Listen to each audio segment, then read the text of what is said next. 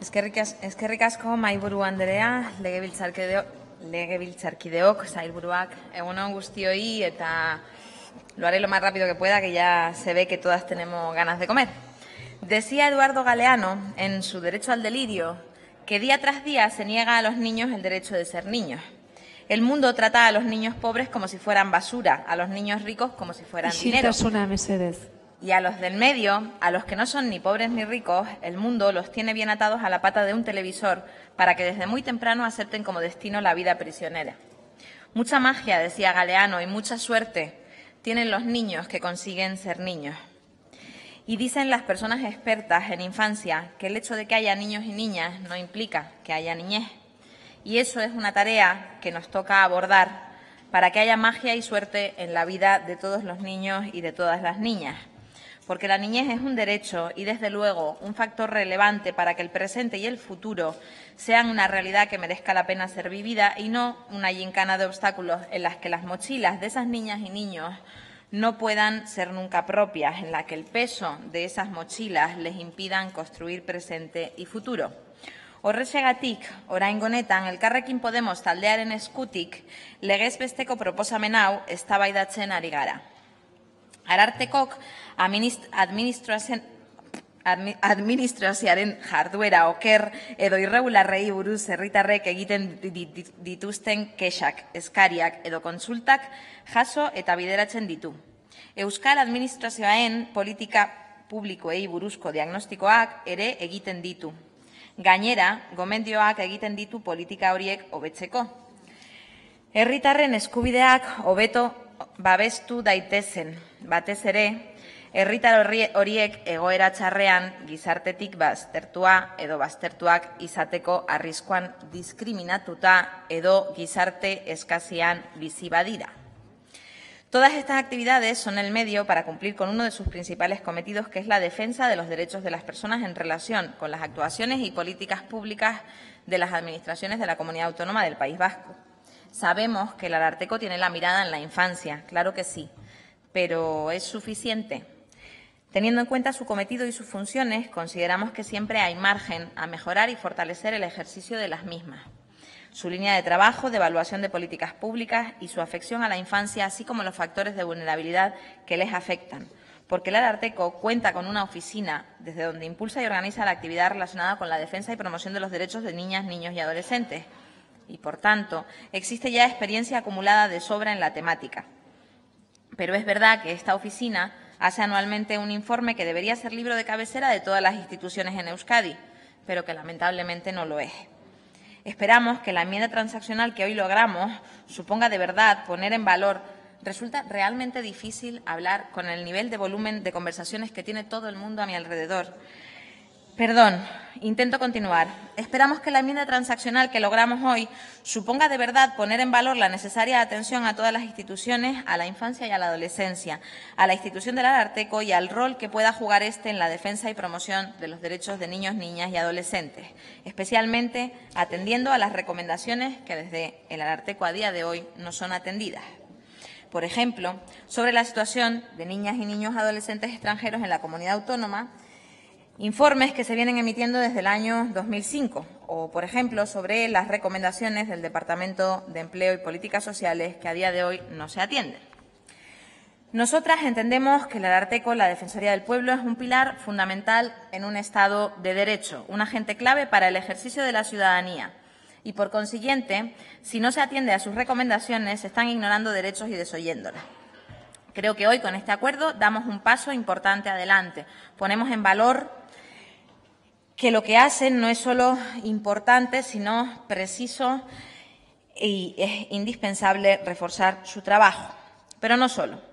Es que llegado el momento en que se termine de adecuar el trabajo de indicadores que se está realizando ahora mismo desde el Observatorio de la Infancia y la Adolescencia, es indispensable darle un impulso a este organismo, porque es ley, pero sobre todo porque lo reclaman los agentes que trabajan en infancia. Y es que lo he dicho muchas veces. En el caso de niñas, niños y adolescentes, por su especial vulnerabilidad en una sociedad fuertemente adultocéntrica, es indispensable que exista un entramado institucional fuerte y consolidado que se ocupe de sus derechos.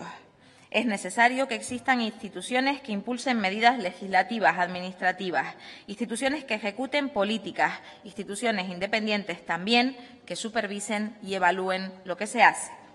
Es necesario que desde el Parlamento continuemos poniendo en valor los mecanismos de evaluación y supervisión, tanto internos como externos, y especialmente ante los datos que tenemos de vulnerabilidad y necesidades de la infancia a día de hoy. La pobreza y la precariedad tienen en Euskadi un impacto significativamente en las personas menores. Un 10,4% de niños y niñas entre 1 y 15 años sufre problemas básicos de privación, de los cuales un 3,5% lo hacen en la forma más severa. Los problemas básicos de privación se trasladan a que un 5,5 de la población menor en Euskadi no tiene acceso a ropa nueva, un 5,6 no puede celebrar ocasiones especiales, las carencias muy graves se traducen en que un 2,3% de menores en ese intervalo de edad no tiene acceso a comida proteínica cada día y que alrededor de un 1,5% tiene carencia de acceso diario a frutas o verduras o no accede a un calzado adecuado. Hay otras carencias que, si bien no afectan a las necesidades básicas, son significativas porque tienen un impacto aún más destacado en el conjunto de la infancia en Euskadi. Entre un 8,4 y un 9,5% de los niños y niñas vascos no puede invitar a sus amigos o amigas a jugar o a comer en casa o a participar en actividades sociales externas que tengan un coste económico, que son prácticamente todas. Pero la carencia más extendida es la imposibilidad, de disfrutar de una semana de vacaciones fuera de un hogar, a la que no puede acceder más del 17% de la población menor de Euskadi en el año 2016. A esta realidad dura, seca, sobre cifras, hay que sumar otras que no son solo datos. Las llegadas de niñas y niños extranjeros que no están teniendo la adecuada acogida integral que determina la ley, las dificultades de acceso a la vivienda que tienen especialmente las familias con niñas y niños, la segregación en las escuelas, instituciones como la Radiotelevisión Pública Vasca que graba a un joven menor de edad y lo emite sin pixelar, ni siquiera la cara. Lambide suspendiendo RGI a familias que no tienen más ingresos ni recursos, pero sí niñas y niños que alimentar. La inexistencia de informes de evaluación del impacto en leyes que, que afectan a la infancia, que son todas las leyes que hacemos en esta Cámara o un sistema de justicia, por ejemplo, que no tiene en cuenta a los niños y niñas debidamente, ni en lo meramente físico, como los espacios de atención, ni desde luego en los propios procedimientos o formación o acompañamiento profesional en distintos ámbitos. Seguro que si dedicamos un minuto a pensar, a todas se nos ocurren muchas más circunstancias en las que la infancia precisa de ser atendida mejor y más adaptada a sus necesidades. Es por ello que para nosotras esto no es una iniciativa puntual en el Día Mundial de los Niños y tampoco el nombre de un pacto preocupado por la natalidad más que por dar soluciones. Para nosotras la infancia tiene que ocupar un lugar central en la agenda. Es por eso que hemos presentado diferentes iniciativas que ya conocen. La creación de la ponencia para abordar de forma profunda la violencia hacia la infancia y la adolescencia o el acuerdo que logramos para algo tan obvio pero tan ausente como implementar el principio legal de incorporar el interés superior de la infancia en todas las políticas públicas sin excepción. Acuerdo, dicho sea de paso, que parece que algunas y algunos se resisten a cumplir, pero seamos positivas y pensemos que siempre hay tiempo para cambiar, corregir, revertir errores y seguir construyendo. O eso esperamos. Adi Egongo Gará. De cara a la presentación anual que hace el Arteco de sus informes, ya manifestamos que considerábamos que las vulneraciones de los derechos que afectan a la infancia tenían que tener un lugar central. Por ello, y por primera vez, a solicitud de nuestro grupo, el Ararteco tuvo ocasión de presentar su informe de manera específica y pudimos debatirlo. Tras esa comparecencia y después de ampliar y consolidar la información que ya manejábamos, hoy nos reafirmamos en la necesidad de fortalecer su rol para la evaluación constante de la situación de la infancia y, en concreto, de las políticas públicas y de los factores de vulnerabilidad que les afectan. Nos damos por satisfechas con el paso que hoy damos en este acuerdo unánime, que si bien no es lo que nos hubiera gustado, desde luego es un compromiso político de todos los grupos de esta Cámara que seguiremos de cerca para ver cómo se implementa. Hemos alcanzado un acuerdo y aunque, como decía, es un buen acuerdo, nosotras nos quedamos con algo en el tintero, que es el compromiso para dotar de recursos económicos que resulta indispensable para que este acuerdo sea posible. No hemos logrado en torno a ese punto. Nos deja preocupadas, pero nos vamos a ocupar y, desde luego, en el tiempo presupuestario que se abre a partir de mañana, estaremos pendientes de este tema.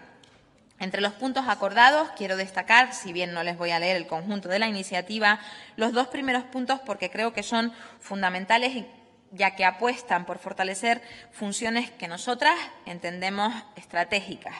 El Parlamento insta o solicita al Ararteco más bien que fortalezca la evaluación de las políticas públicas y los factores de vulnerabilidad que afectan a la infancia y solicita también que se refuercen las acciones a través del Consejo de la Infancia y la Adolescencia para asegurar que la voz de las niñas y los niños está presente también en las actuaciones del Ararteco, cuestión que dio mucho de sí en la comparecencia que tuvimos hace dos semanas. Hoy, de nuevo, nos felicitamos por el acuerdo y agradecemos, sin duda, la generosidad de todos los grupos de esta Cámara para aprobar esta proposición con un acuerdo unánime. Ha costado, pero ha salido y es para estar satisfechas, porque hoy de facto damos un paso adelante. Estaremos atentas para que no se quede en una simple declaración de intenciones. Besterik mi